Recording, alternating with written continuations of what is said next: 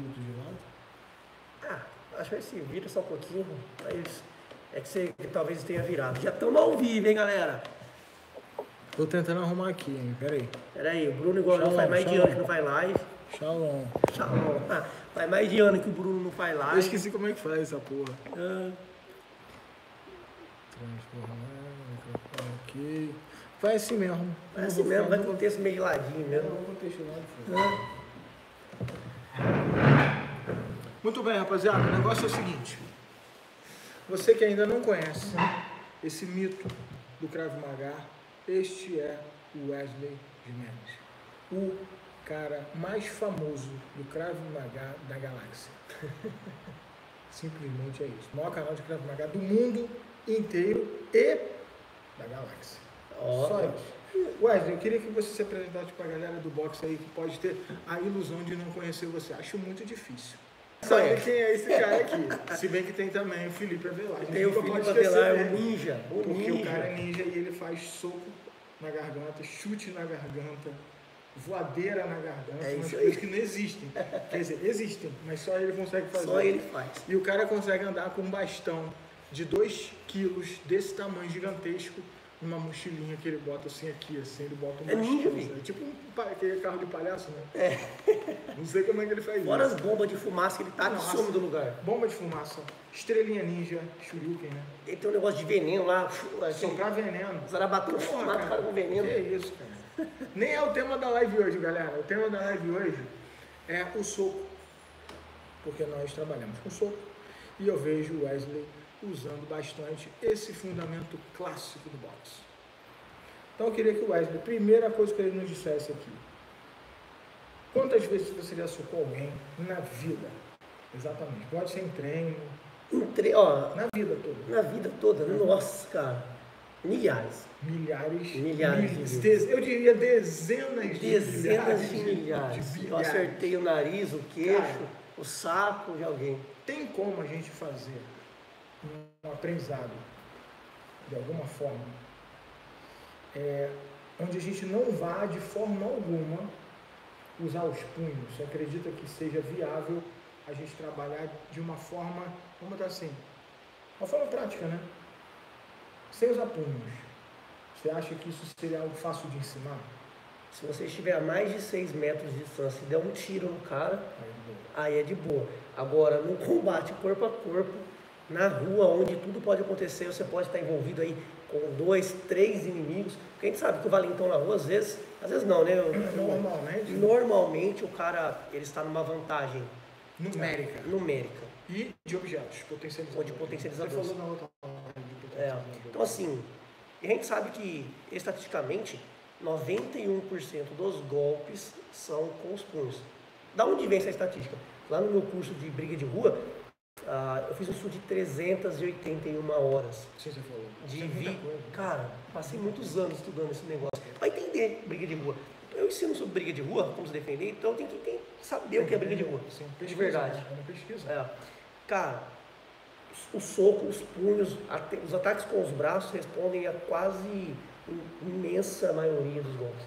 Então, se o cara não souber como usar os braços corretamente para atacar e para defender, ele tem pouca chance de vencer um combate. Eu tenho uma pergunta que acabou de chegar do José da Maria Conceição ali mandou pra gente.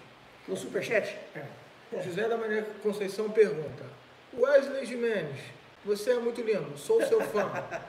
É, é possível um lutador de jiu-jitsu que nunca treinou nenhuma arte marcial de soco conseguir, em um momento de defesa pessoal, se subjugar ou sobreviver na trocação? Na trocação não, né? Porque são mundos diferentes. A gente fala que o cara para lutar o cara para entender defesa pessoal, briga de rua, ele tem que entender distâncias diferentes. A gente fala, eu costumo classificar como o Bruce Lee classificava de, de uma forma um pouco diferente do que eu classifico. Eu na verdade classifico com uma forma a mais. O Bruce Lee ele não envolveu a longuíssima distância, Que é o tiro. que é o Que é o tiro, que você gosta. que é o que eu gosto Só pra também. avisar que ele gosta de atirar É. e a mulher dele é profissional de tiro. É, que é o tiro, que é a fuga. Quando a gente fala do combate, a gente tem que entender que fugir também é uma forma de combate. Estratégia. É uma estratégia de combate. Arte Pensa assim, guerra. Arte da guerra. eu olho pra frente, tem quatro malucos lá na frente. Armados. Porque tem que ser armado. Pô, não não, tem quatro malucos lá na frente, sou o tamanho aí.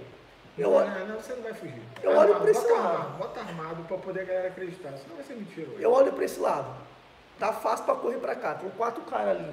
Cara, tô longe desses caras, vou ficar mais longe ainda, vou pra longíssima distância, né? Eu vou sacar minha arma e dar um tiro nos caras? Não, vai Loucura. arrumar problema, né, cara? eu vou fugir. Agora, na longa distância, a gente pode usar os chutes e tal, mas na longa distância eu também posso tentar fugir, eu posso tentar me armar com objetos ao redor.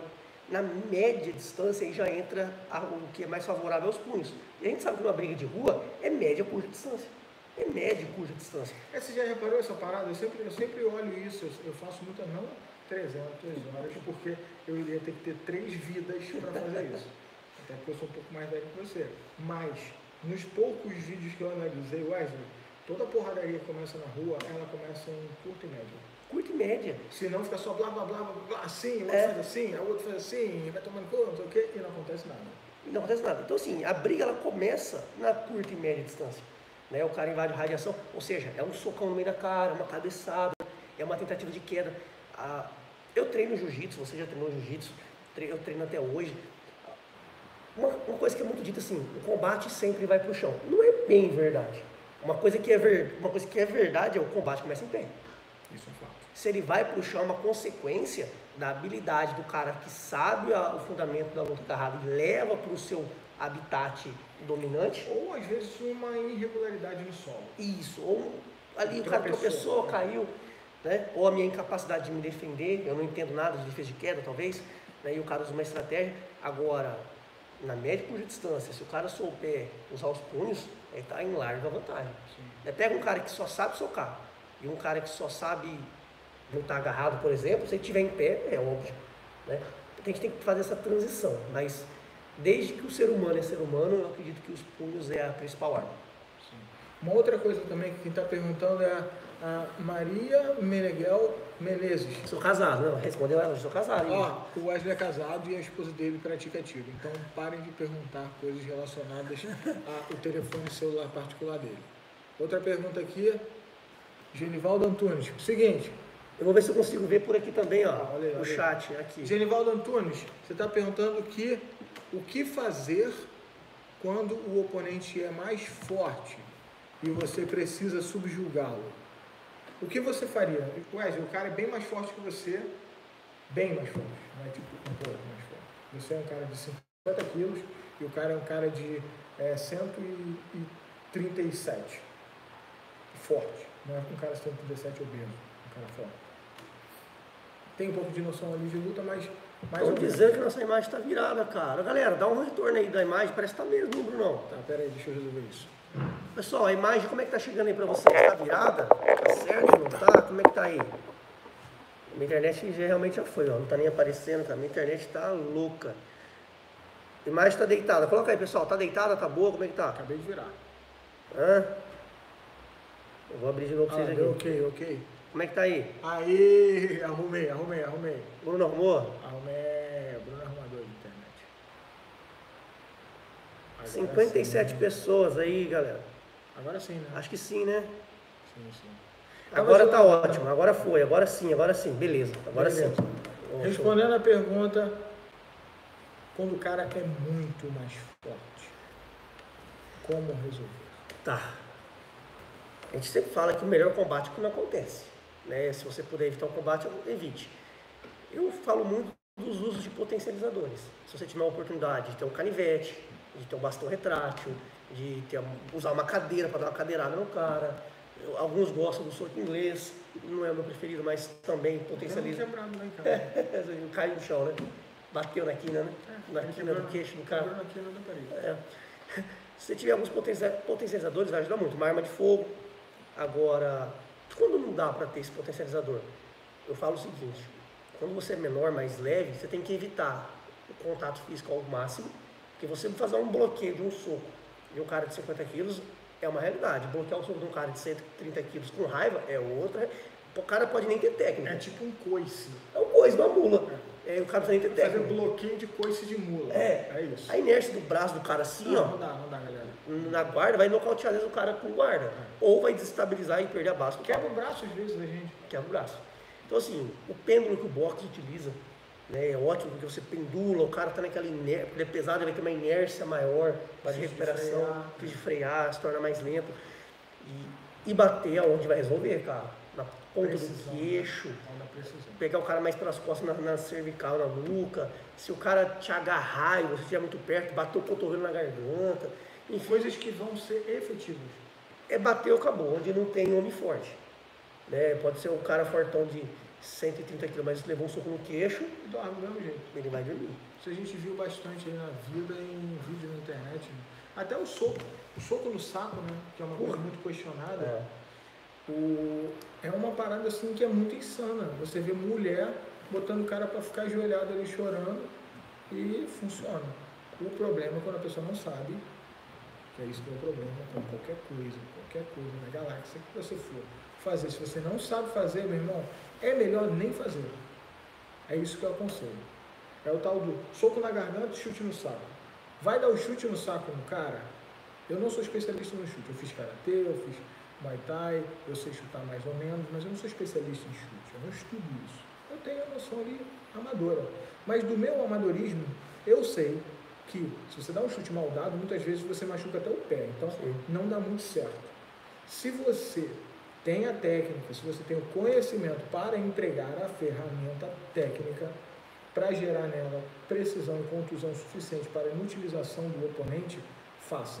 Agora, se você não sabe, meu irmão, não, se você é mulher, por exemplo, não chute o saco do cara se você tem, não tem certeza que vai dar certo, que você vai deixar o cara mais puto ainda com você. Só para você tentar. Então, assim, não é uma boa estratégia.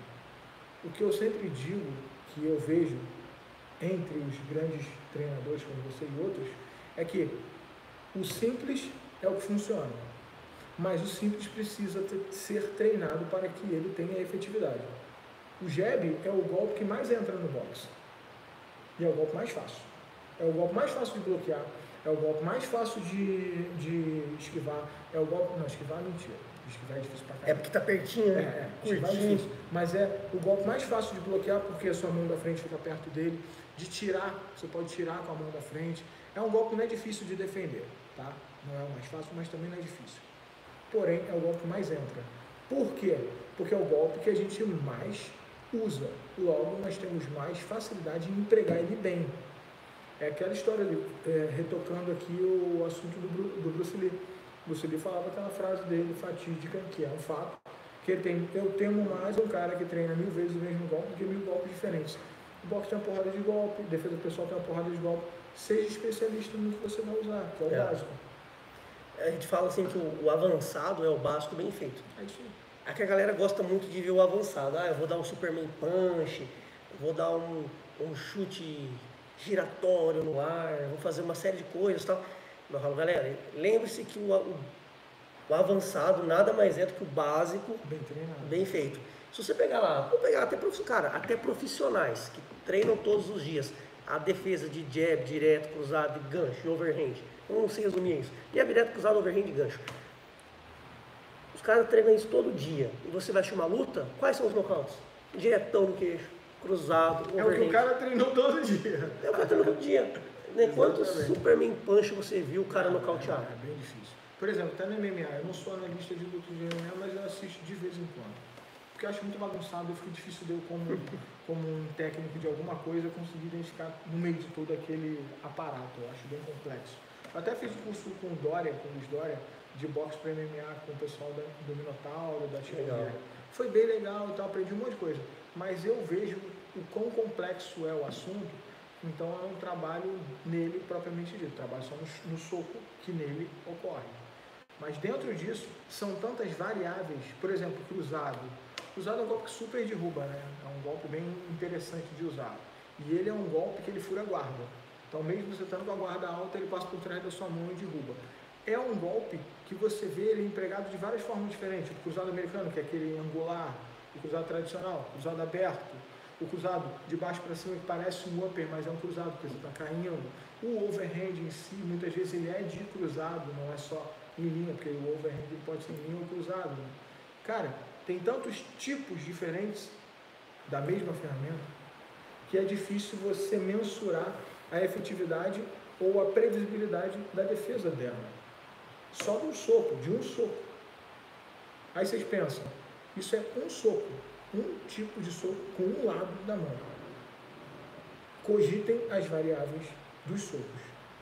É muito complexo, é muito difícil. Por isso, para você não ficar preso em meio a 10 milhões de opções, de variáveis e de possibilidades hipotéticas de estratégia, seja muito bom em alguma coisa. O homem que sabe aquilo que faz e busca aquilo que faz em toda sua respiração, se torna aquilo que ele faz. Ele se torna referência. É mesmo como Sacha, que você também gosta. É isso aí. É, é você buscar com toda a sua atenção aprimorar aquilo que você sabe que você já tem uma tendência a ser bom. E no soco eu, eu, eu acredito que isso talvez seja efetivo. Você acha que isso funcionaria na defesa pessoal? Não existe defesa pessoal sem, ser, sem ter o fundamento de soco. Não existe. Na minha opinião, não, não. Ah, mas eu só dei um chute, eu só sei chutar e resolver uma briga. Cara, beleza. Você deu uma certa sorte, que você estava numa distância favorável e ali a ferramenta era um chute. Mas eu considero que minimamente você tem que saber o soco, o fundamento de um soco. Né? Os fundamentos, sei lá, os quatro socos mais básicos. O ataque e a defesa. Não, eu falo, não existe defesa pessoal se você não souber socar. Não existe. Por exemplo, tem uma arte marcial chamada Taekwondo, ou ta, Taekwondo. Já treinei. Fala, né? Já treinou Taekwondo. Cara, tem pouquíssimo soco. Mas tem, sacou? Os caras são ninjas do chute. Excelente. O, o chute do Taekwondo é o melhor chute das artes marciais, porque eles são especialistas, especialistas nessa coisa. Eles fazem chutes de, de maneiras é, malabarísticas, se é que existe essa palavra malabarística. E acho que sim. Agora sim, existe. Tá? Agora está existindo, porque o canal é meu eu invento as palavras é que eu O Wesley deixou, então tá valendo.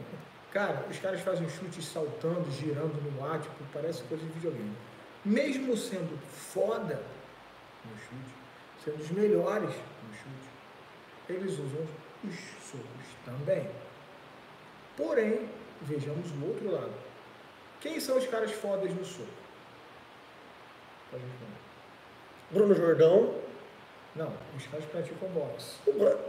Os alunos do Bruno Jordão. Os alunos do Bruno Jordão e eu quando era jovem. Que esses dias eu fui fazer uma sombrinha com esse rapaz aqui. Em três minutos de filme de gravação de sombra eu já estava cansado. Porque ele parece aquele coelho, aquele. Ou então. Hamster, sei lá, eu, do gelo. A gente falou assim, vamos, vamos devagarinho, né? De boa, É, fazendo uma filmagem. foi Cara. Você foi muito não rápido. parecia que tava devagar? Não foi devagar. Mas não parecia? Gente- Devagar? Quando a gente tava fazendo, não tava devagarinho? Não, eu tava desesperado. Tava nada, mentira, você tava fazendo devagarinho. Não, mentira. Eu ficava procurando. Mentira. Tava, ele tava, de- Cara, tava de galera. boa pra ele também. Só que aí quando a gente foi ver no vídeo, foi engraçado, não foi? Rápido pra caralho. Você olhou pra trás e falou assim, você acelerou. Você, Acelerou, o vídeo. você acelerou o vídeo aqui? Não, não, tá, tá aqui no meu A gente vídeo. acabado de filmar, a gente acabou de sair da beira-mar, É. a gente fez na beira-mar o treino. E ela me mostrou, olha só, as fotos e os vídeos. Aí entrou o segundo, era o vídeo do, do treino de sombra. Aí eu ficava assim, você adiantou isso aqui? Foi. Isso aqui foi o que aconteceu agora? Tem certeza? Parecia adiantado, né? Parecia acelerado. Parecia, cara. Eu fui quê? em casa depois. Sabe por quê? Eu acho que eu me liguei o que, aconteceu. A gente estava batendo low punch. Sim. Como a gente não estava botando muita força, É. fácil de frear a mão, Volta, sacou? é. Aí ficava assim. É. Aí você ficava assim, vendo o vídeo assim, perdido. Juro por Deus, eu vou mostrar o vídeo pra vocês. A gente posta junto e a gente faz assim. Vou fazer até com o Wesley uma parada maneira. A gente faz o vídeo assim, meio a meio. Bota metade lá no canal dele, metade no meu, pra vocês verem o vídeo do treino todo. Porque foi maneiraço. E aí, voltando ao assunto que eu tava falando, que é o seguinte. Os especialistas de chute são os caras do Taekwondo. Ponto. Isso não sou eu que estou dizendo. É o maior canal de defesa pessoal Krav Maga da galáxia inteira. Ponto. Acabou. Não tem discussão. É. Mas o que eu estou dizendo é uma coisa que não precisa ser o especialista mais foda do assunto que eu conheço, que é o Wesley. Para saber. Qualquer retardado sabe o que eu vou dizer agora. Porque é óbvio e todo mundo sabe. Especialista de soco é o cara do boxe. Ponto. Agora, o detalhe não é esse. No boxe não tem chute. Tá entendendo? Tá entendendo? É foda. Tem soco. Boxe não tem chute. Aí você para e pensa, o que está acontecendo? O boxe veio de uma arte marcial, segundo o meu, o meu instrutor de história, que é nosso amigo Felipe Avelar, canal é. Combativos, que o cara é estudioso e é, é ele é histórico, não, não, não, Historiador. Historiador de combate. O cara fez história e ele estuda a história da luta. E é ninja também. Faz ninjitsu, dá aula da mentoria, inclusive é meu assessor de assuntos de dúvidas. Ele dá aula de ninjutsu, de Krav Maga e de Jiu-Jitsu no E tá treinando boxe. E tá treinando boxe. Tá treinando boxe. Eu acho que ele tá sendo ameaçado, cara. E tá ficando bom no boxe. Detalhe. Estão ameaçando. Ô Felipe, tem alguém te ameaçando aí, cara? Deve ter. Fala com a gente, bicho. Felipe, a gente ajuda. Eu não, não consigo bater em ninguém mais, mas pelo menos eu consigo fazer cara de mal. Às vezes as pessoas se assustam com linguagem corporal. Às vezes. Muito bem. O boxe veio de uma parada chamada pugilato. O que é o pugilato? Eram os gladiadores romanos antigamente que botavam uma porra de uma fita aqui na mão para não quebrar e saíam na porrada na mão. O que matava o outro ou incapacitava o outro eram os punhos, igual o nosso treinador, o falou. Desde os primórdios nós usamos os punhos e acreditamos neles. E eles dão certo. Aprendam, entendam. Quer saber se defender? Você vai precisar das suas mãos mesmo que seja para dar um soco na garganta ou na bolsa escrotal de alguém, que é bem ruim. Mas você precisa das mãos. Quando você não vai precisar das mãos? Se você tiver uma arma e tiver também, não sua arma, mas a técnica que esse cara aqui tem e a mulher dele tem para conseguir acertar alguém. Porque eu digo com total propriedade. Acertar um tiro em alguém é difícil pra caralho, tá? Só para vocês saberem. Vocês acham que é igual no filme, que você chega ali e faz assim, pá, pá, pá, atira assim, né? Tipo 50 Cent. Pá, é. pá, pá, pá, e vai dar certo? não acerta um tiro em ninguém. Se pegar, pega no pé do cara, lugar que não é, tipo, foda-se. Outra coisa importante para vocês saberem, se vocês não acertarem o tiro no lugar vital e o calibre da arma tiver um stopping power, que é o que eles chamam, para parar o seu oponente, ele continua vindo para você e ainda é capaz de te matar na porrada de raiva antes dele morrer. Então, meu chapa, até para você atirar, há que se ter conhecimento técnico. Olha só que doideira. Não é só que está com a arma não, você ganha uma briga. A arma mais perigosa, Wesley, você vai falar pra gente. Qual é a arma? Eu já sei porque o, o Felipe Aguilar já me falou. Ah, mas eu vou te perguntar. Será que é a mesma? Com certeza.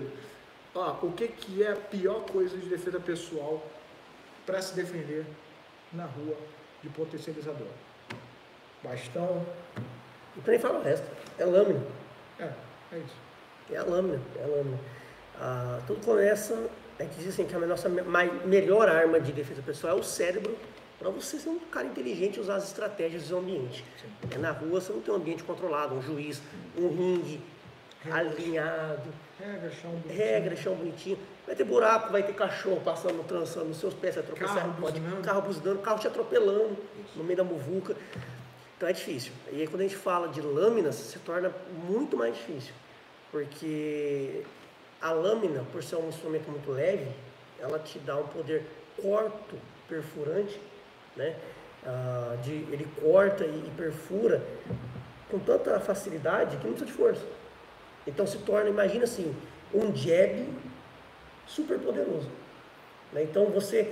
Mega rápido. Mega rápido e super poderoso. Dificílimo de defender. É, quando a gente fala de soco, a gente fala, ah, o jab, ele vai. Tem, tem maior chance de acertar, porque está mais perto, é um golpe mais rápido, né? mais curto. Uhum. Tá ali, pum, bate mais rápido. Mas o jab você defende, a lâmina não dá para defender. Exato. Né? E o jab, você toma um jab, dependendo de como pega. Dependendo é, do ele é bem mais fraco do que um diretão. Lá de trás, carregadão, bum, no meio da cara. Agora, você imagina se os jabs tivessem poder de direto. A lâmina vai deixar. virou canhoto. A lâmina vai deixar o seu jab com 10 poderes de direto. Poder de morte. De morte, cara. E, e não tem como defender. Isso que é insano. Ó, eu nunca tomei uma facada. Eu já. Eu já, tomou? Então, e a galera diz que dói pra cacete, né?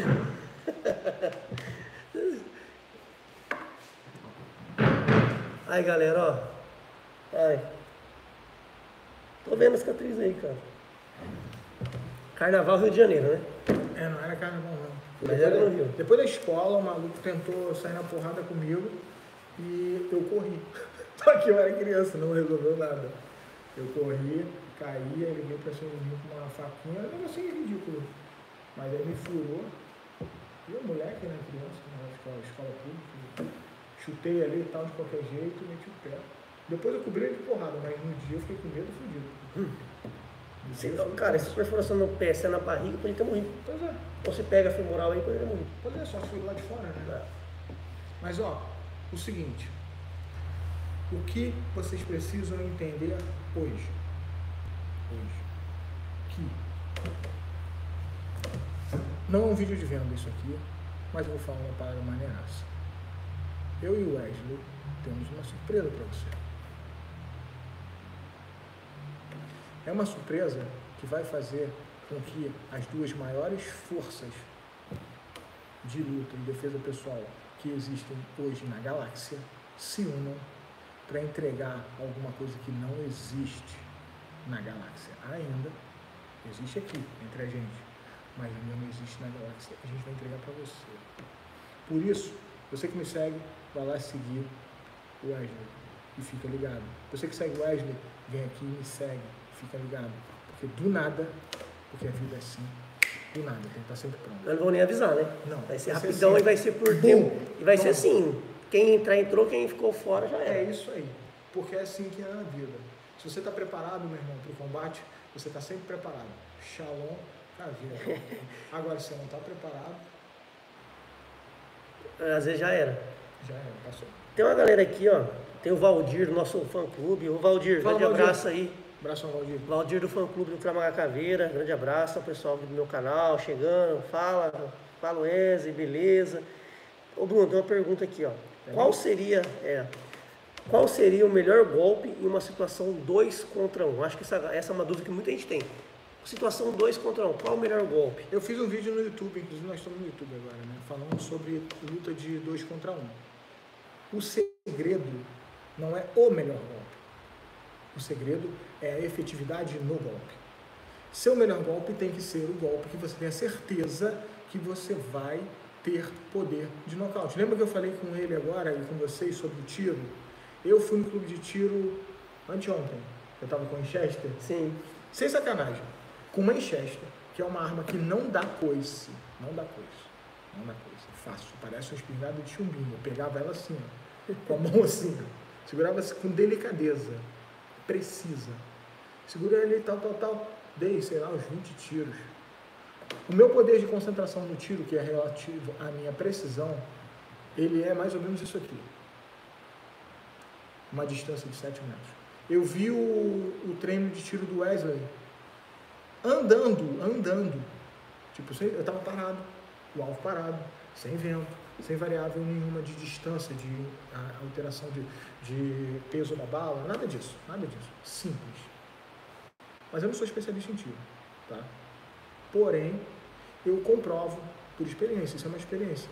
O Wesley aceitou, acertou assim, nessa concentração em movimento, porque ele é especialista nesse tipo de arma. Qual arma você é especialista? Se não é, a minha dica para você, filho, quer conseguir lutar contra um, dois ou três, seja especialista em alguma coisa. E uma outra dica que eu te dou como estudioso e palestrante de controle emocional. Se você derruba dois, o terceiro não vai. Às vezes nem o segundo vai, né? Muitas vezes, o primeiro. É. cara, eu, isso é experiência própria. Eu já passei situação. Eu, eu fui gerente de boate de funk em Angra. Quem conhece a minha vida sabe. Nem da treta, né? Meu irmão, funk, funk. Três bombeiros tentaram vir pra cima de mim fora da boate. Eu derrubei só dois. O terceiro ficou carregando os outros. Isso é uma estratégia de, de arte da guerra, inclusive.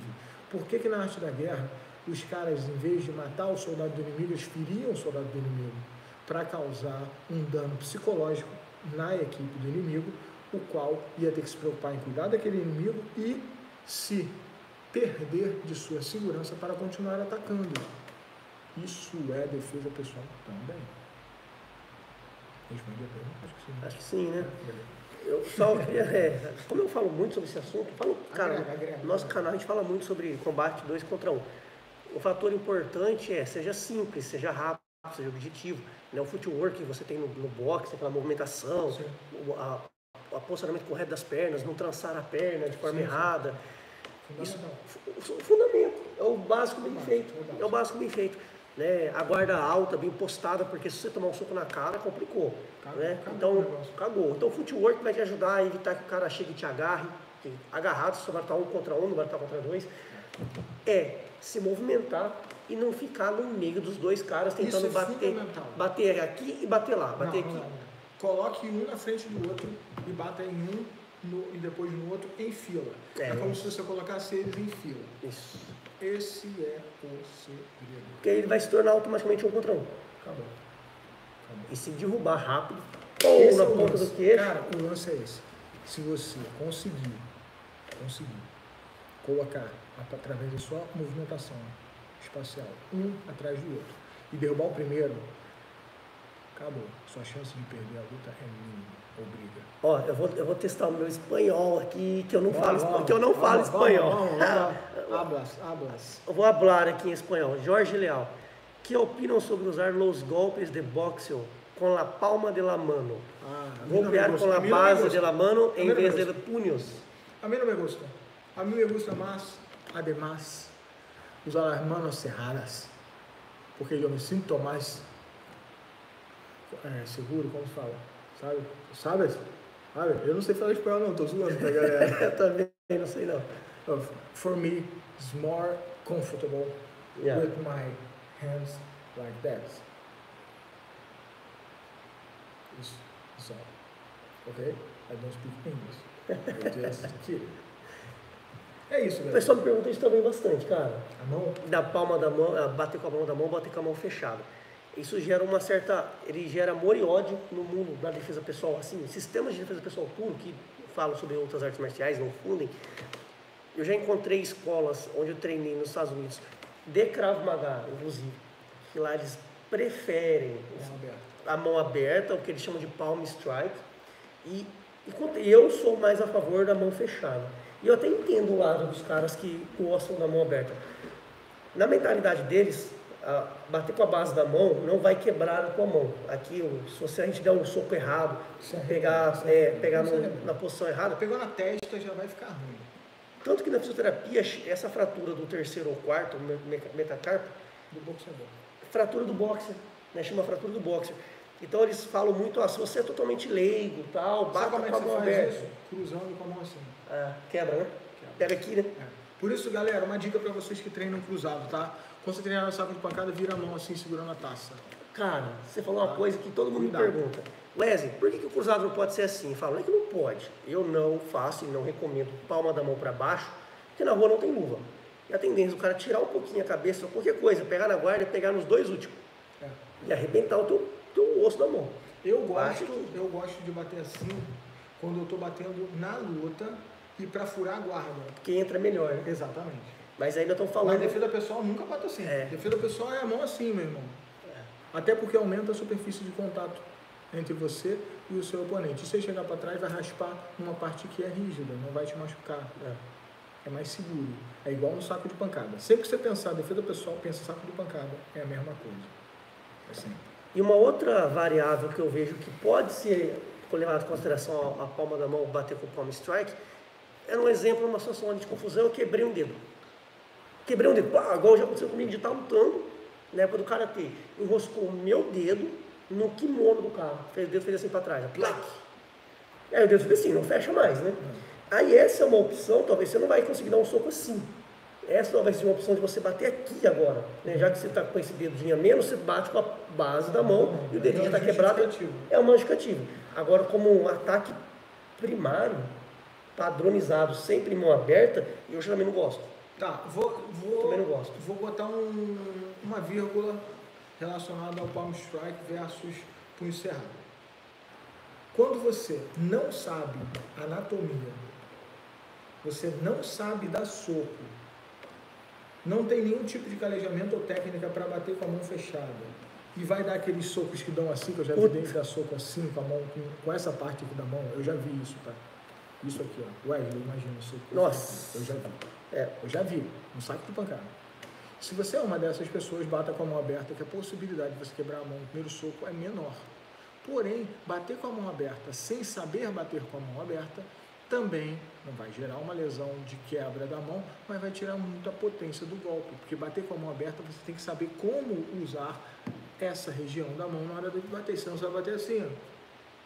Ou bate aqui, em vez de você bater com essa parte, bate com essa aqui, porque a pessoa se mexe, e aí vai bater com os dedos. Então, mais uma vez, repito, e repito, e repito, mil vezes a mesma coisa. Que Bruce Lee falou, que o Wesley falou antes dele, que o Bruce Lee aprendeu com o Wesley. Cara, é melhor você ser bom em coisas básicas, fundamentos. Porque se você é bom de verdade em alguma coisa, você vai ter que ficar se preocupando com as variáveis disso. Não, meu irmão, eu sou bom dar soco com a mão fechada, posso estar com a mão quebrada. Eu dou soco com a mão fechada porque eu fiz a vida inteira isso. Então eu estou apto a me sentir seguro e à vontade com isso. Eu não vou te dar, se for brigar comigo, eu não vou te dar uma joelhada saltando. Porque não é algo que eu faço normalmente. Eu posso até saber, não é que eu não sei. Por exemplo, eu não sei atirar. Não, não sei, mas eu vou lá e atiro.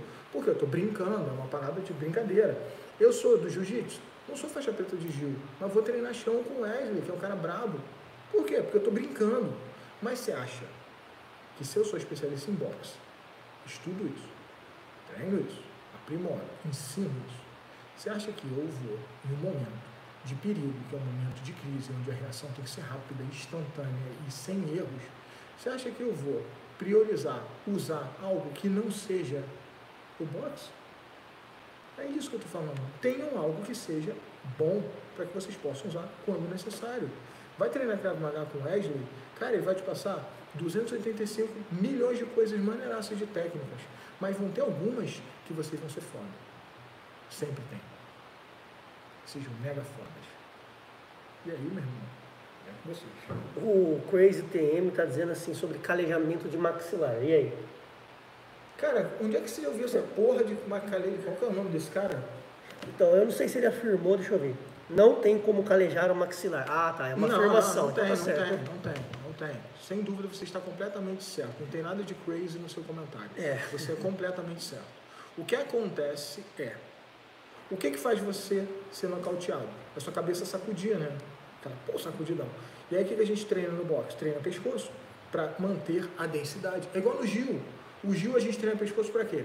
Manter o pescoço forte para quando você está tomando aquela pressão aqui no sufocamento, você ter como virar o pescoço para o lado e o músculo do pescoço segurar um pouco mais, não completamente, mas um pouco mais o tempo de circulação que você precisa para não apagar. Não quer dizer que você não vai apagar, você apaga do mesmo jeito, só que demora mais. É só isso. No boxe a gente usa o fortalecimento do pescoço para nossa cabeça sacudir menos quando tomar porrada, mas a gente cai igualzinho e desmaia igualzinho, só diminui. Então o que você pode fazer é diminuir o, o trauma, mas não evitá-lo quando você absorve. Agora, calejamento da mão é algo que acontece naturalmente com treino. Naturalmente. Karateka tem uma porra de uma madeira que eu esqueci o nome, sabe o nome? Maquiar. Maquiwara. Aquela porra daquela madeira serve para calejar a mão. Eu calejava, sabe com o quê? Com coco. Coco verde. Pendura aquela porra na parede e fica lá batendo. Pá, pá, pá, que tem formato na cabeça. Evita de bater com um nó no meio da tua mão, que dói pra caralho. Mas depois de um tempo até isso não te incomoda mais. Aí vai lá e vai amassando, aí fica mais gostoso de bater e fica até divertido. Acabou. Resolve a sua vida, vai calejar a mão. Agora, cara, meu irmão. Essa do coco eu nunca treinei, não. Não, tem um vídeo lá no pra É, você, tranquilo. Eu treino Só no, bota no pneu. do saco. Bota um saco. Que ele solta aquela fiaca depois que ele quebra. Vira uma bagunça. Ah, aí fica uma sujeira. Puta, eu, eu sempre bati no pneu, porque ele vai e volta. O pneu é excelente. Pneu gostoso, né? O ruim desse, do pneu é, o pneu ele tem uma textura muito aderente. É, Aí você rasga muito a mão. rasga a mão, corta pra cacete. Corta pra caralho. O coco não. O coco ele tem uma textura mais parecida com a cabeça. Ele até Entendi. incomoda, mas ele não, não lacera. Entendi. E ele é mais rígido. Então ele não afunda quando você bate. Você com essa sua delicadeza, quando você bater no pneu, você enfia a mão lá dentro. No coco não vai acontecer isso, ele vai absorver um pouco mais o impacto. Legal. É mais fácil. Show. Ó, tá aí uma dica, dica do coco que eu não sabia. Coco, galera, coco. Compre uma loja de coco. para você ter uma loja de coco na sua casa. Se eu pudesse dar alguma dica de maxilar, seria. Não vai fazer loucura querer calejar maxilar, ficar dando soco no queixo assim, ó. ó. Cara, já vi nego fazer isso. Ninguém ensinar a fazer isso, a calejar. Não, você tem que aprender a, a serrar bem os dentes, Sim, importante. é, estabilizar o seu maxilar, pois num golpe que pega ali meio de raspão, aquele golpe que pega, não pegou, pega meio esfregando, se sua bocona tiver aberta, o maxilar desalinhado, vai arrebentar. Vai, vai. Né? Agora, não, Você fica sem falar. é, não é que vai calejar, mas você vai alinhar o seu maxilar e ficar numa posição que, caso tome algum impacto, minimize uma fratura. Né? Mas calejar e isso aí não. Isso aí, Isso não existe isso aí vai ficar. no mundo inteiro. Inclusive, você falou muito bem, Crazy, que não existe. Realmente, não existe. Nós estamos só fomentando aquilo que você disse. Eu não pergunto mais agora. A galera quer saber se nós vai brigar. A galera que vai brigando, Vamos, bicho. vamos, vamos. A gente vai fazer um sparring fechado lá na academia e vamos nos matar lá, porque o último sparring que a gente fez, a gente fez low e ele tá querendo me deixar com o olho roxo. Obviamente, eu vou ser o cara que vai sair machucado nessa história. Porém, Ou não. Ou eu vou não. ser o cara que vai sair feliz, porque eu vou ser machucado pelo maior lutador, treinador e o queixo mais bonito de Krav Maga da galáxia. Perguntando qual, qual, qual estratégia a gente vai usar sabendo da habilidade de cada um. Não pode contar, né, Bruno? A minha estratégia Não contra ele, eu contar, vou né? falar, eu vou Vamos falar. contar. Eu vou falar. Minha estratégia contra o Wesley é, eu vou falar pra mulher dele que ele me ameaçou. É, covardia. Aí a mulher dele vai falar assim, olha só, pega leve comigo, pô, o cara tá te recebendo aí, pô, vai machucar o cara. Aí ele vai pegar leve comigo, porque ele tem medo da mulher dele. É, é a criptonita do cara. Essa é a minha estratégia. Duvido que eu não consiga. Rapaz, a mulherada é brava. Já vou na, no shopping de novo, já vou comprar um presente de novo de aniversário pra ela. A, mulher, a, mu- a mulherada é nervosa, é Tá nervosa, é nervosa. A minha estratégia é tentar correr pro outro lado. Vamos ver se vai- a porta vai estar aberta pra eu fugir, né? Não, eu tranco a porta. Vamos ver se a galera. Ó, 65 pessoas, cara. Legal. Pessoa tá chegando. Tá chegando a galera. Depois de Sparra, vocês contam que usaram, beleza. Ah, Olha só, deixa eu contar uma parada pra vocês. Eu já fiz sombrinha uma porrada de gente. Uma porrada de gente. Eu nunca vi um cara tão rápido igual o Wesley. O treino dele parece que ele tá em câmera acelerada. Não é zoeira. Eu vou ter que mostrar, ninguém acredita. Parece zoeira. Mas é verdade. Então o que, que eu vou fazer? Minha estratégia. Minha estratégia. Pensei isso agora eu vou ficar fugindo dele até ele cansar. Fugindo correndo mesmo. Volta da academia. ó, cara, esse é rápido. Rápido é isso aqui, ó. Tem uma parada que a galera nunca pode esquecer. Se você quer ter alguma conquista, você tem que sair da zona de conforto. Anger é uma zona de conforto. cara. Isso aqui você vai ver em breve aqui no canal do Bruno Meu irmão, você não tem noção. Só mostra, fala- Mostra do drone, mostra do drone. Ah. Você não tem eu não tô com o link aqui. Meu irmão, vocês não tem noção. É, Tá, na- tá no meu celular. Tá no seu celular. gravou até com drone junto, meu. Vocês não têm noção da cagada que a gente tá fazendo aqui. Vocês não têm ideia do que vai acontecer. Vocês não têm ideia do que vai acontecer. A gente tá se divertindo pra caralho. Estamos fazendo um projeto pra caralho. E, cara, acreditem ou não, o Wesley ele é muito mais forte pessoalmente do que ele parece no- nos vídeos. É nada, pô. Eu falei isso com a minha mulher. Eu falei, porra, eu vejo o Wesley no vídeo ele parece que é pequenininho, magrinho, né? Eu cheguei perto dele, ele é todo assim, todo duro. Me surpreende, me surpreende. É sério mesmo? Eu um susto. Eu geralmente ouço o contrário, acredita? É, o pessoal acha que você é maior no O vídeo. pessoal acha que eu sou maior. A galera fala assim, achei que você era mais alto, cara. Ah, mas você tá falando com quem? Com pessoas Não, eu não microfones. sei, não. Os caras desse tamanhozinho. Ah, Mas, Felipe cara- Avelar, por exemplo. Felipe, vamos malhar o Felipe Avelar. Galera, vocês sabem que é o Felipe Avelar do canal Teixu Combatives? Segue ele lá. Não tem como botar o link agora, mas segue lá, galera. É do caralho, cara é ninja. Ah, 71, a galera tá começando a chegar aí. Presta atenção. Eu acho que viram você de BM aí, uh, Ah, tô conversível. gostando, tô gostando. Ah, Galera, presta atenção nessa história, brother. O cara é ninja demais. Ele é ninja demais. Ele foi pra uma festa. Foi uma festa. E aí na festa, o cara foi ameaçado. Peraí que estão chamando ali, peraí. então eu vou roubar o canal do Isso, pode ficar essa aí. Agora é do Wesley. Ele fez isso lá no meu canal do Cramar Caveira. Eu fui no banheiro, tava mijando na calça, ele foi lá e começou a falar. A galera tá chegando aqui. E aí, pessoal? já vai deixando aí que pergunta que você tem pro Bruno Jordão. Vamos bagunçar esse canal aqui, o maior canal de boxe da galáxia. Você que está chegando agora, não, não, você não está no canal errado. Você está no canal Bruno Jordão, canal de boxe. Ó, a bandeirinha de Israel aí, acho que estão falando comigo, hein? Vamos ver. Feed Show. O que, você, o que você acha dos instrutores de Krav MacGyver? Caras do YouTube que inventam coisas. Cara, vamos lá. Vai ter picareta em todo lugar. Do seu lado talvez tenha um cara aí agora, alguém aí, sei lá, olha lá. O cara já tá aquecendo, vai vendo. Pessoal, tem gente de verdade e gente de mentira em todo lugar.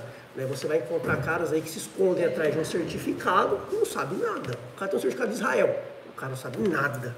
Como no box, tá vendo esse cara aqui? Você precisa dar um certificado para provar que esse cara sabe alguma coisa? Ele está mostrando todos os dias para vocês aí que ele sabe muito. Né? A, a maior prova é o conhecimento que ele traz para vocês. Né? No Krav Maga, no Jiu-Jitsu, tem jiu-jitsu faixa preta online hoje em dia, né? Tem faixa preta no final de semana. No boxe tem picareta, no Krav tem picareta, em todo lugar vai ter picareta. Quer uma dica? Veja o que esse cara produz. Veja o resultado que ele produz. Uma árvore boa dá bons frutos. Uma árvore ruim, impossível ter bons frutos. Então não se preocupe ah, o certificado que o cara diz que ele tem, não se preocupe com as fotos que ele tirou em cima de uma montanha, dando jab direto. O cara pagou 20 mil dólares para ir lá em Israel para dar jab direto, mandar uma montanha para falar que. cara, é isso. Por que, cara? Que coisa cara, assim, a galera que me conhece sabe que eu treinei em Israel, Estados Unidos, Rússia, França, Alemanha, então, sete países. Mas eu vou ser sincero, tem caras também que foram para Israel treinar, os caras foram dar jab direto em cima da montanha. Pagou 20 mil dólares para dar jab direto. Aí o cara volta com o certificado assim. Certificado de jab direto. Não, não, não vem escrito isso. É assim, Cravo Magá Israel. Treinei Cravo Magá Israel. Vai ver lá o cara deu jab direto em cima da montanha. Ou o cara deu peitar riglar em faninho, chute pra frente dentro da água. Eu falo, porra, você pagou 20 mil dólares. Viajou pra cacete pra ir dar jab direto em cima da areia, bicho. Dá jab direto aqui no hospital, cacete. Né? No boxe também vai ter isso. O cara vai falar, ah, eu sou o cara da federação. Mundo inteiro de pilantras. O que mais tem é vagabundo, mentiroso e pilantra na galáxia. Mas o que o pilantra faz é fácil de desmascarar porque ele faz para si. Quando um cara é bom como Wesley, ele transforma outras pessoas. Pensa, o cara tem 980 bilhões de instrutores na galáxia inteira. Caras que estão ganhando a vida, pagando suas contas com o que ele ensinou, transformando outras pessoas que estão começando a se sentir seguras com o que ele ensinou, são provas de transformação no próximo. Quando você abraça o próximo, transforma esse próximo no multiplicador de algo bom que você criou, porque o método é dele, você tem instantaneamente uma prova de que aquilo que você faz não é para si, não para o seu ego, mas sim para sempre e para a galáxia. Você sabe que o Bruno também é filósofo, né? Sou- sou filósofo. Cheguei aqui na casa dele, tem um monte de livros de filosofia lá. Nunca li nenhum. Ah, tá, até, ama- tá até amarela as páginas, leu bastante. Eu boto tudo ali para enfeitar. Inclusive, eu queria falar uma coisa para vocês, uma revelação minha. Eu nunca treinei boxe, nem sei o que é boxe direito. Mas eu sei uma coisa. Uma coisa. Maneiraça. Uma coisa que faz toda a diferença e que eu tenho certeza que a grande maioria dos professores não sabe. Eu sei que nada sei. Logo, eu posso aprender. Já ouviu falar da teoria do pote de água? Que um pote cheio jamais se permitirá encher de absolutamente nada, pois não há espaço dentro dele. Olha a filosofia surgindo naturalmente. Seja água, meu filho. Quem falava isso? Bruce Lee. A água se molda àquilo que é devido a ela. Se ela tem que ser rígida, ela é rígida. Se ela tem que ser forte, ela é forte. Se ela tem que ser suave, ela é suave. Porém, ela ocupa o espaço que lhe cabe e não mais isso. Seu ego não pode ser tudo o pote que você habita. Essa é a filosofia do coach para você. Eu não sei porra nenhuma de boxe, mas cada dia que eu dou aula para alguém, cada dia que eu me encontro com alguém fala sobre esse assunto, ou cada dia que eu vejo alguém dar um soco no mundo inteiro, eu estou aprendendo alguma coisa. E essa caminhada é para sempre. É sempre. Minha voz de filósofo é essa. Eu falo nesse tom. Tom de filósofo. É isso aí. Ó, Agora fazer essas sacanagem. tem uma pergunta do Guilherme Henrique aqui falando assim: jab direto seria a melhor combinação para uma briga, já que são golpes rápidos e precisos? O que, que você acha, Bruno? Só direto, Ge- ô, Guilherme. O jab, ele muitas vezes ele faz com que você tome um susto. Quando você toma um jab no boxe, no boxe você faz isso estrategicamente para você conseguir conectar o direto medindo distância. Mas na defesa pessoal, que é o que você está me perguntando, é mais efetivo você colocar já o direto. Então você já tem que ter uma distância previamente medida para que você coloque o direto. Porque na defesa pessoal, quando você dá o jab e o jab normalmente não derruba, a pessoa faz o quê? Toma o golpe, ela faz assim, ela se encolhe, levanta os ombros, levanta a mão, e aí o direto não entra direito. Então eu te aconselho a bater logo, de uma vez, o seu golpe mais potente, imediatamente, para acabar logo com o problema. Ó, o Matheus Guimarães, grandes mestres, estou passando um simulado para os meus alunos agora no cursinho. Parei só para escrever esse comentário. Acompanho tem tempo o trabalho de vocês. Obrigado mesmo pelo conteúdo. Ô, volta lá para o aluno, bicho. Vai trabalhar, Você tá maluco, cara? Você quer perder emprego? Vai, vai lá, cara. fala, a live fica salva, cara. Vai trabalhar. Vai lá trabalhar, tá maluco? E aí eu falei seu nome, os caras vão te demitir aí, É, bicho. deixa o cara, tomara que ninguém, esteja vendo a live. né? Kiras, é normal ficar nervoso e tremedeira durante uma briga? Claro, cara, claro. Olha só, vou te mostrar. O- a relação emocional ela é, ela é tão é, veemente, ela é tão superficial, ela é tão natural, que quando você vai no banheiro e dá uma cagada, às vezes você fica arrepiando. Quer dizer que está com tesão? Não, é porque o seu corpo faz isso sem você escolher. A falta da escolha quer dizer que é algo que é instinto e não escolha. Logo, você não pode se preterir disso. A diferença não é não sentir medo, não ter arrepio, não é, ficar preocupado, não ficar tenso, mas o que você faz com isso. Cus D'Amato, treinador do Mike Tyson, falava disso numa metáfora relacionada ao fogo, que é muito interessante, a qual lhes vou oferecer a possibilidade de conhecê-la. Gostou, tô filósofo? Tá, hoje tá filósofo. Só porque você falou de palhaçada. Ah, Eu adoro fazer essas palhaçadas, mas a metáfora é verdadeira mesmo.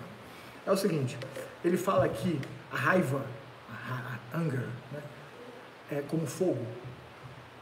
E o fogo, ele pode esquentar o seu alimento e provê-lo a toda a sua família. Esquentar a sua casa no frio, no inverno, na sua lareira. Ou incendiar você e toda a sua família dentro da sua casa, causando uma morte dolorosa e cruel. A diferença é o que você faz com o fogo. Eis o segredo. É um momento de reflexão. É isso aí. Aquele silêncio, as É. pessoas assim com a cabeça. Pode, fa- pode falar, se fizeram assim. É isso aí, né? Vocês escreveram? Vocês escreveram isso daí? Se não escreveu, depois você volta na live. Bota no Google, coisa da coloca falou. 05 e copia lá. É. Dá pra fazer frase pro Facebook, Instagram. O Ricardo perguntou várias vezes aqui, eu pulei. Ricardo, vou responder agora. Ricardo Ventura? Não, julgado. Quantos anos você treina? Quantos anos a gente começou a treinar? Você começou a treinar quantos anos, Bruno? Eu comecei com oito. Eu Você lembra? comecei no Karatê, eu devia ter uns 13 para 14, por aí. Ah, Então a gente treina mais ou menos, basicamente no mesmo ano. A gente começou mais ou menos igual, cara, na mesma data. Eu tinha oito, eu sou oito, cinco, É, 17, 9, então... é mais- seis anos, menos. mas é uns cinco, seis anos mais velho que eu. é isso aí. É. A gente começou na mesma hora, Mais ou só que em menos. lugares diferentes. É isso aí. Mas começou na mesma arte, era no Karatê, né? É, a gente é igual até nisso. É, repara- no Karatê. Vocês repararam que o meu queixo também é quadrado assim? Tá vendo? Aí eu tô ficando careca igual o Bruno, aí Gui. A gente é parecido. Quando você é um macho alfa, você tem as características de macho alfa. Quais são elas? Queixo quadrado. Primeira coisa. Pá. Quadradão, queixo quadradão. Olha pra lá, Ed, olha pra lá. Olha lá. Ó, furinho aqui no queixo. Eu também tenho, não dá pra ver por causa da barba, Da mas eu barba, também né? tenho. Covinho, Aí, ó. eu também tenho. Isso é característica de homem dominante, lutador, guerreiro, cara brabo, maior canal da galáxia. Só vou acrescentar um detalhe da briga, é porque essa pergunta que eu também recebo bastante lá no canal do Tramagá. Eu sinto medo numa briga normal. Cara, Você tem que entender que a nossa fisiologia, quando você está sob adrenalina, você vai ser inundado, quer queira ou não, por hormônios da guerra, do combate. Fugir ou lutar faz parte do combate. FFF, né? É. Então, adrenalina, noradrenalina, cortisol, são hormônios que vão te deixar ah, mais forte, mais forte, mais rápido, mais tolerante à dor. Caso as pessoas tomem uma facada e não percebe, tá com uma faca cravada nas costas, ela vai ver depois. Né? O cara perde uma mão no acidente de carro, o cara vai ver depois, que perdeu uma mão. Sim, sim. Né? É estímulo amigdalar isso. É. Então assim, ao mesmo tempo que traz alguns benefícios, traz alguns malefícios. Vai te dar um dos primeiros sintomas, visão de túnel, você vai perder um pouco de noção espacial. Sabe o que é essa parada? Terminando, só me lembra depois da visão de túnel. Tá, visão de túnel vai te deixar muito mais ofegante, porque você começa a respirar muito mais, você começa a oxigenar demais, você começa a perder capacidade de audição, você começa, a, em alguns casos, sabe aquele branco? Já vi relatos de pessoas que tiveram um branco numa briga, o cara disse que não enxergou nada, veio, veio um branco na cabeça dele. Isso é adrenalina. Como é que você melhora isso? Colocando no seu treinamento, um treinamento realista, um pouco mais de realidade todo o treino, é, um pouco mais de ansiedade. Trabalhar de forma homeopática. É se você está ali, levinho, com o seu amigão de treino lá, e não tem adrenalina, você não se conhece. Quando você cai nessa situação, você é pego de surpresa por esse, por esse hormônio e você não consegue fazer nada. Aprendeu? Estímulos externos relacionados ao perigo sons estridentes, explosões do nada. O susto em si ele pode ser exercitado de uma forma positiva para você começar a acostumar a modular ou emular suas reações esperáveis associadas a estímulos cabíveis em momentos de perigo. Mas o mais legal dessa parada é visão de túnel. Isso é do caralho. O que é visão de túnel? Vocês sabem o que é isso? Vocês que estão aí. Deixa eu ver o nome de alguém. Foi o nome de qualquer pessoa aí. Vai o Fido que fez a última pergunta. Tá. Fido, você sabe o que é o nome de. O que é visão de túnel? Você sabe? Fido. Eu tinha a camisa que era do Fido. Fido Dido. Fido Dido. É, o cabelinho assim. É, era, era, é você, cara. Do cabelinho espetado assim. Isso, bem magrelinho, igual você. Você sabe o que é visão de, de túnel? Visão de túnel, meu irmão, é visão binocular, é visão de caçador. Leão tem o olho na frente da cara, porque ele tem ênfase em visão de túnel, que é a visão binocular, que esse cara aqui é ninja para ele conseguir atirar. Porque atirar você olha aqui pertinho, mas você não presta atenção só aqui, você presta atenção no que está lá atrás, não no que está aqui na cara dele. Visão próxima, que é a visão periférica, ela é visão de presa, de herbívoro. Jordano, você quer ser herbívoro ou carnívoro? carnívoro, minha filha é criada para ser carnívoro, predador. Porque na vida você tem duas opções. Ou você presa ou você é o predador. Tá no livro de filosofia do Bruno Jordão também, você não leu? eu acho maneiro que assim, eu falo as paradas e aí eu fico vendo vocês fazendo assim com a cabecinha do outro lado. É isso aí. Olha lá, a galera balançando a cabeça lá. Olha lá, tá lá, Deus risada ainda. Caralho, nossas lives nunca são rápidas, né, cara? Cara, é, é corrida. Ó, o Marcos David, dar um chute na rua é arriscado? esquiva seria mais prudente? E aí? Cara, eu vou te falar muito sinceramente sobre isso, inclusive com até certa propriedade. Eu não acho o esquiva muito prudente. Agora ele está começando a melhorar, está começando a se tornar um cara mais prudente, inclusive. Eu acho fez que... um vídeo se retratando mas, comigo. Mas, mas normalmente ele está perguntando se o esquiva Falcão é, é prudente. Eu estou falando agora, ele está muito mais prudente. Será que foi essa pergunta? Não, estou zoando. É, é o esquiva, além de cara, é um cara que a assim, gente tinha parado de falar e tal, a gente entrou numa briga conjugal, mas agora a gente virou amigo, então posso brincar. Falei assim, será que além de careca tá ficando cego, bicho? Não. Não, então pode continuar então. É, a zoeira era essa. Você estava brigado com o esquiva? Tá. Eu não conheço ele, eu não ele. Esquiva Falcão é um cara gente boa pra caramba, mas ele entrou numa de seguir um otário que todo mundo sabe quem é, que gosta de ficar vivendo na minha aba. Ele vive na minha aba. Tudo bem, pode viver. E ele entrou numa de escutar o otário, o otário começou a falar merda de mim, ele acabou indo na aba do cara e decidiu ficar do lado dele sem nem falar comigo. Ele simplesmente tomou as dores do cara, sendo que o cara que é o otário. E aí o que aconteceu? Ele fez o vídeo me hateando. Logo em seguida, ele viu no meu canal que não tinha por que ele ser dessa forma comigo, porque eu não estava falando nada de mentira, muito pelo contrário. E ele veio, se retratou, mandou WhatsApp para mim, conversou comigo e hoje nós temos uma relação saudável, afetiva. Porém, como foi a pergunta?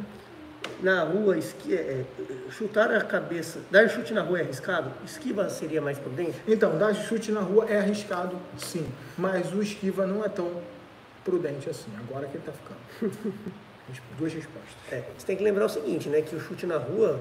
ah, Deve doer o pé pra caralho. Não, e tem uma série de fatores que, se tor- que tornam o chute perigoso. Às vezes a galera fala assim, ué, você tá treinando de calça jeans? A galera, lá no meu TikTok eu só faço vídeo de calça jeans. A galera fala assim, calça jeans, você é louco? Eu falo, cara, na rua eu vou estar como? Com a De kimono? Você anda de kimono? É, eu tô com a roupa do meu dia a dia, tô de calça jeans.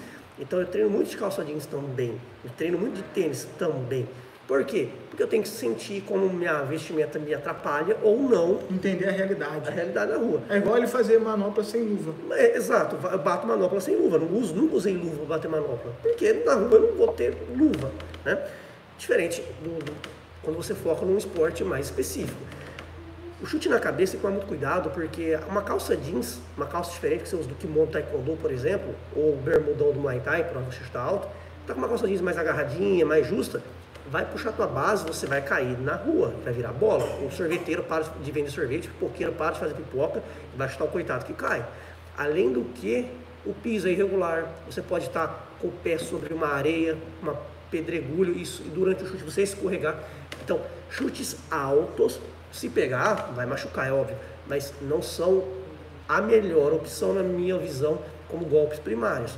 Né? O golpe de surpresa, que pega de surpresa ali no combate, tudo bem.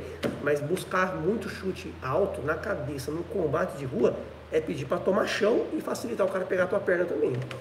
Eu, eu, se eu fosse escolher um chute, ia ser um low kick. Um low kick, um pisão no joelho. fácil. É, pisão no joelho tá um Pisão no mais joelho, fácil. é. Mais gueri, né? Que é chute pra frente, mas é com pé de yoke gueri, na verdade. né? Já era, e, e nem precisa alongamento, nem precisa. Não, a não a calça não vai né? atrapalhar. É, pode fazer de saia. Cara, você tá com bastante seguidor em espanhol aqui, hein? Vamos responder. Juan Pablo, professor, usa O lá. que passa, Ruan? O que passa? O que passa?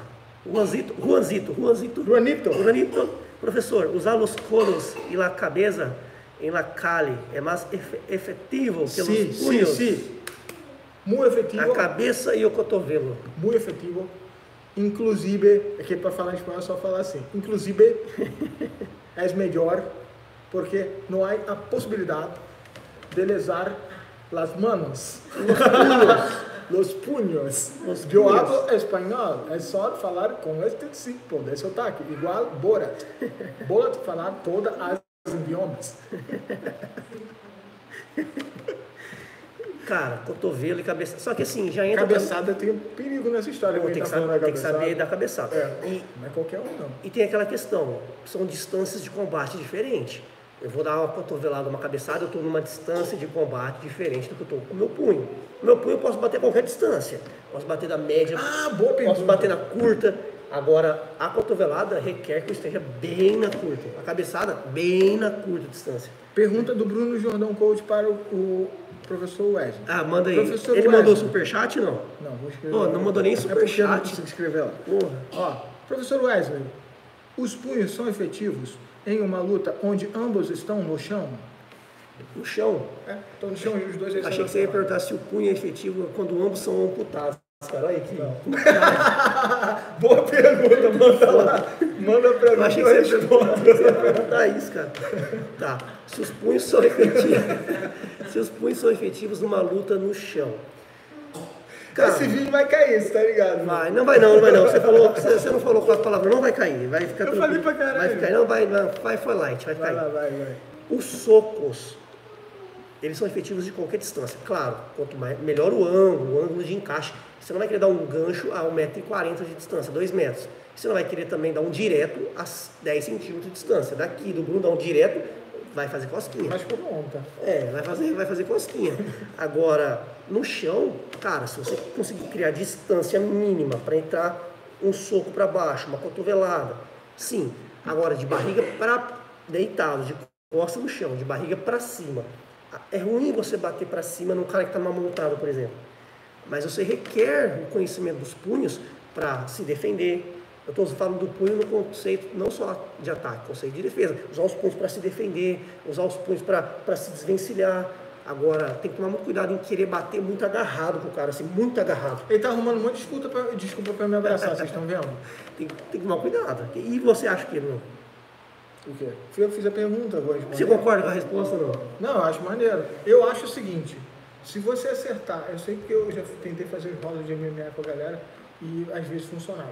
Se você acertar bem dado, o cara pode estar em pé, pode estar deitado, pode estar de lado, pode estar de qualquer posição. Não, Se acertou bem acabou. dado, desestabiliza o processo, cara. É porque assim, o cara que treina Só luta- que tem que ter ângulo, É. é o que ele falou, sem ângulo tá fudido. ângulo e distância. É. Então, assim, a falha, a falha dos lutadores que são muito puros, puros, tá? Quando eu digo assim, o cara que só chuta, o cara que só finaliza, Sim, o cara sim. que só derruba, o cara, né?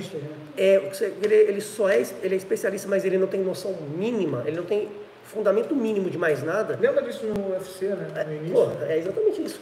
Então, se eu derrubar uma pessoa no chão que não sabe nada de antichão, de Cara, antichão, os caras sabem nem fazer levantada técnica. atropelo, Ele cara. levanta igual um, É. um velho. Se eu levantar para fazer trocação com o cara, eu, eu não sei trocação, eu sou péssimo em trocação, eu vou fazer a trocação com o cara que é especialista nisso, tô ferrado.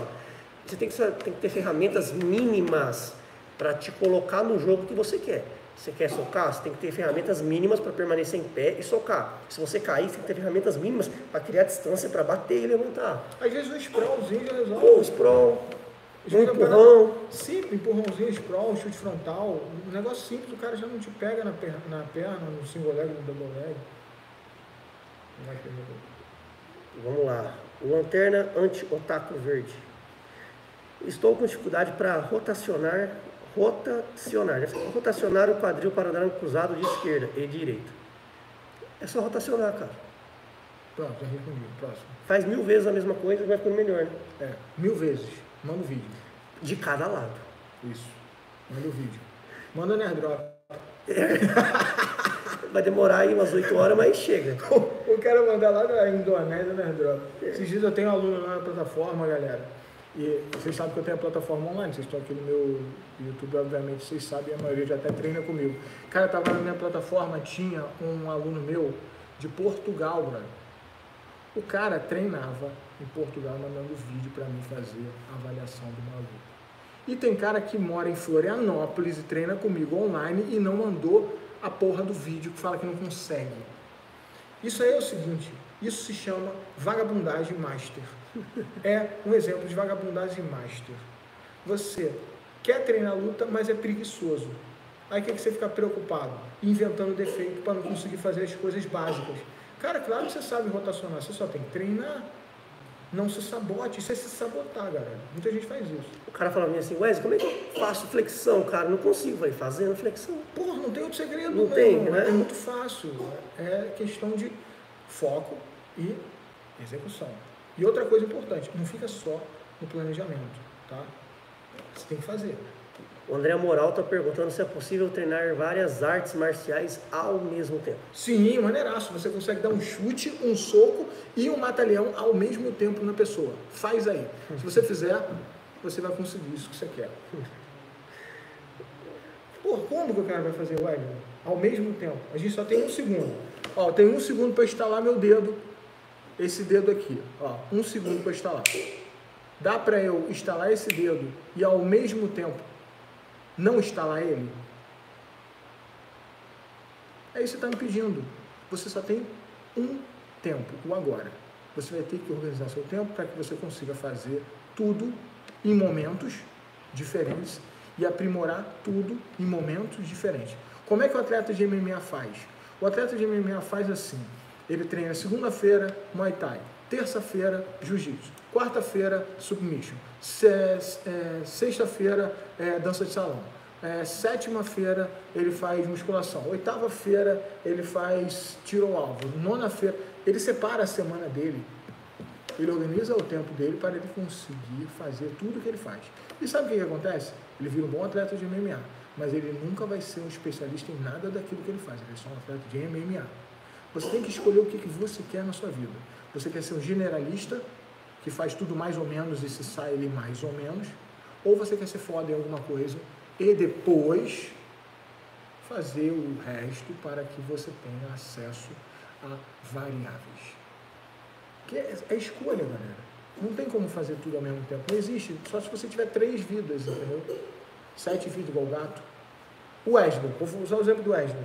Wesley, quantas marciais você já fez? Nossa, cara. Karatê, não- kickbox, apkido, Não precisa falar que a gente só tem mais uma hora de live. Aí todas as- essas coisas que ele fazia, ele não fazia ao mesmo tempo. Não. Ele fazia uma, ficava foda, pegava a mãe, aprendia as paradas, já ia para outra, ele emendava uma na outra. Às vezes fazia duas, mas nunca ao mesmo tempo. Três, mas nunca ao mesmo tempo. Tá? Estão entendendo que eu estou brigando com vocês por causa disso? É isso. O Marcos Davi fez uma pergunta interessante. Ó. Boxe tradicional e boxe no MMA são diferentes nos fundamentos? Fazer guarda na rua não funciona? Afinal, não tem equipamento de segurança. É, fez três perguntas numa só. Duas. Tá, responde você depois. A mais importante aqui que eu acho que ele fez é boxe, treino, treino tradicional de boxe. É o mesmo fundamento do treino do boxe do MMA? Fundamento é fundamento. Foda-se. Desculpa. Mas é isso. Estratégia é outra história. Dentro do próprio boxe, você pode fazer a mesma coisa de modos diferentes.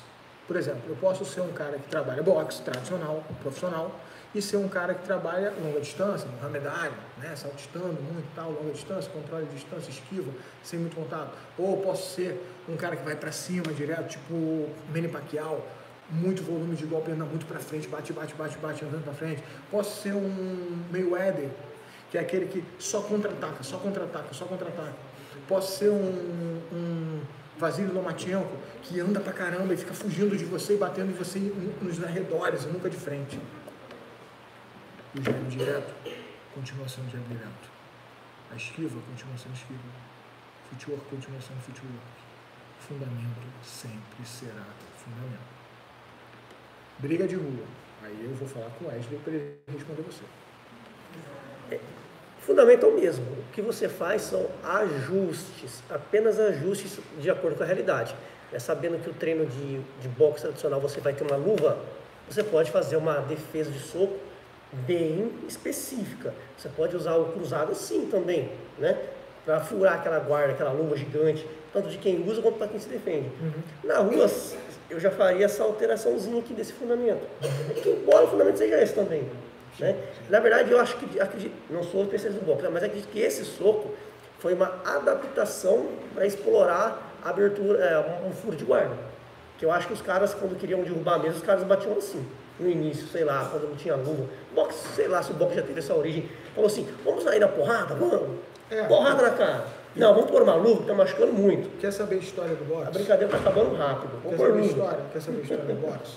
Felipe Avelar, Putz, é. tem Exu, Historiador. Ativos, O cara é historiador. Ele me falou que desde a Mesopotâmia antiga tem jarros de lutadores de boxe de mais de 3 mil anos atrás. Agora eu quero saber, Felipe, era de luva ou sem luva? Sem dúvida. Era sem luva? Os jarros eram sem luva. Já era o Já era bare knuckle. A, a Vera, igual o bare knuckle. A Vera. Os caras lutavam nus. Isso eu achei estranho. Mas, é, é, Cultura, é, né? a época antiga tem essas viadagens. Cultura e tal. Viadagem antiga. Hoje em dia, a gente treina roupa, porque a gente não gosta desse negócio de ficar se balançando enquanto treina. Beleza? Ô Bruno, tá com 70 minutos, 5 para as 8. Eu tenho embora, tenho que Você tem que dar aula agora, né? E aí? Galera, vamos nos despedir da galera? Vamos. Galera, eu tenho uma coisa para dizer para vocês. Primeiro, duas palavras. Parabéns. Para. Ah, Você ia falar isso? Isso, isso mesmo? É nada, achei que você ia falar sério com a galera. Não, não, não. Parabéns por vocês terem vindo aqui compartilhar do conhecimento desse cara que eu tenho o maior prazer em receber aqui em casa e em receber no meu canal sempre. E lembrando que essa é uma novidade especial, especial. Sigam ele, galera que segue ele, me segue. Entra no Instagram, segue os dois, porque a gente vai fazer uma parada que não existe na galáxia. E não vai ser só passeiozinho de carro conversível, não. E nem gravação com drone. Isso é só o começo. Pessoal, valeu aí pela presença. Muito bom falar com vocês. Melhor ainda estar na presença do Bruno. Gostei muito de Florianópolis. Gostei do passeio hoje de BM conversível. Foi muito legal. Ao dispor. Ó, desde que eu cheguei em Florianópolis, eu já andei de Mercedes e de BM. Nunca tinha andado nenhum desses dois carros. Cara, tá top a viagem. O cara tava na Rússia passeando, É, tá top. em Nova York, o cara só, Tá só vive top. passeando pelo mundo. Ele só não tem carro porque ele não tá afim de gastar Tá dinheiro com top. PVA caro. Tá bom demais aqui. Vocês serão muito bem-vindos, serão muito bem-vindos lá no canal Kramaga Caveira, a galera aqui do canal Kramaga. Se inscreva no Bruno Jordão, como ele disse, em breve novidades para vocês que são os nossos seguidores. E vai ser uma novidade assim, muito rápida, quem aproveitar, aproveitou, quem não aproveitar vai ter que esperar bastante depois. E aí, curta, compartilhe com seus amigos, inscreva-se no canal e vem ser caveira. É nóis. Uh! Vem ser caveira!